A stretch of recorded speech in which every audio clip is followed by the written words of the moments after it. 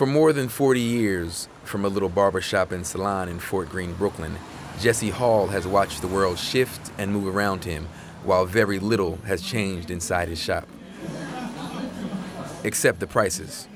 Regular haircuts when I first started, I think was like a buck fifty to two dollars and fifty cents. Afros were like five, six dollars. Shaves were like two dollars. So now it's moved up where the average haircut now it starts like seventeen dollars and up.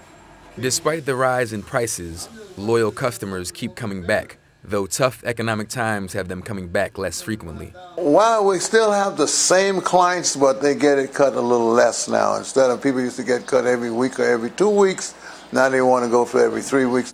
No matter if the shop is packed or if there's only a single head to cut, Mr. Hall continues to hold court, mediate disputes, and cut and style hair like nobody's business. I like to see people happy when they go out. You give them a good haircut, they go out smiling. In 1969, when Mr. Hall opened Jessy's House of Styles, things were much different in this part of Brooklyn. A lot of fighting, a lot of craziness going on around the neighborhood and stuff. What uh, I guess it was to be expected uh, at that time. People wasn't making a lot of money, but you had a lot of underground stuff going on. Of all the memories, the good and bad, Mr. Hall said he looked most fondly on the sense of family that was created in his shop.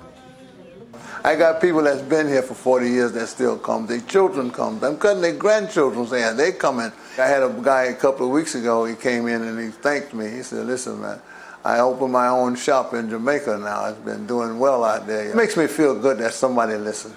Like people said to me, so when are you going to retire? You know, I didn't want you to retire. I'm glad you're around. I'm like, well, it's something for me to do to keep my muscles going.